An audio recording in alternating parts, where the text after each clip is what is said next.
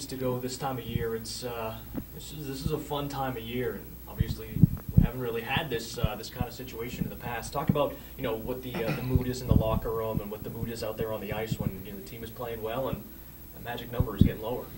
Yeah, I mean it's really fun. Um, it's pretty loose in the room, but we know when we come to the rink, uh, it's time to work and uh, bear down. Um, we've been playing some pretty good hockey lately, and uh, you know we just got a good thing going right now. So uh, hopefully we can just keep this going into the playoffs.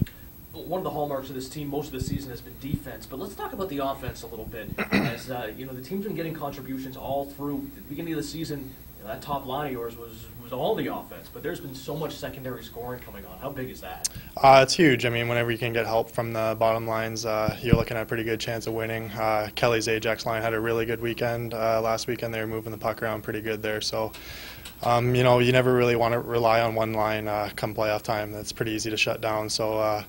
Uh, definitely, when you got four lines that can all score, it poses a lot of problems for the other team. You've been playing the role of the playmaker recently, picking up a bunch of assists. You know, talk about uh, just contributing.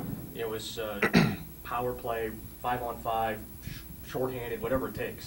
Yeah, I mean it's pretty different for me compared to years past, being uh, relied more offensively. So it's a nice challenge, and uh, you know, playing with Whitney, you're bound to pick up some points uh, along the way. He's an awesome player to play with. So uh, you know, it's it's nice to have that responsibility to be counted on for offensive production.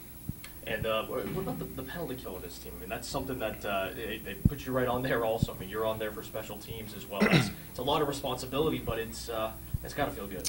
Yeah, for sure. It's just nice to be uh, you know relied upon. Uh, you know, you don't want to go out there and have the coach uh, worrying about if you're going to be responsible or whatever. So. the penalty kill has definitely been one of our main strengths, especially as of late. I think we've been pretty hot lately, so you know, uh, we didn't even take a penalty last game either, so that's always uh, that's always that always helps. So uh, you know, penalty kill is really important.